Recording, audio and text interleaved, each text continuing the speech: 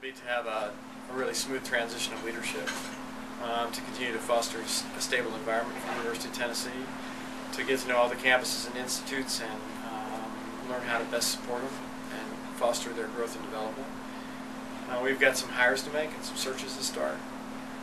Um, and we've got to make sure that we get a sense of teamwork and commitment to discovery, to education, and to connecting across the state.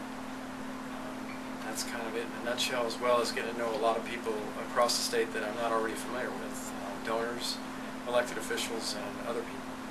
Well, the last few weeks have been full of everything from a wedding for our youngest daughter in Chicago to figuring out um, where the next dog show is and um, what to do in the new job. What do you think?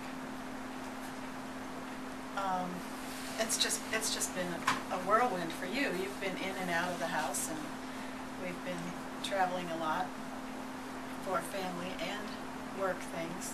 So it's been pretty hectic. Nobody's getting a Christmas card me this year. And I'm just too tired. We've been debating the Christmas letter, right? It's Yeah. not happening. Yeah, we're not doing that this year. I just, I'm ready to relax, but I don't think that's happening anytime soon. I mean, there have been some remarkably touching kind of um, gestures. I mean, we have this pizzeria in Urbana-Champaign that uh, Deb actually worked at as an undergraduate. And um, after we got elected, the family there, we've gotten to know their family.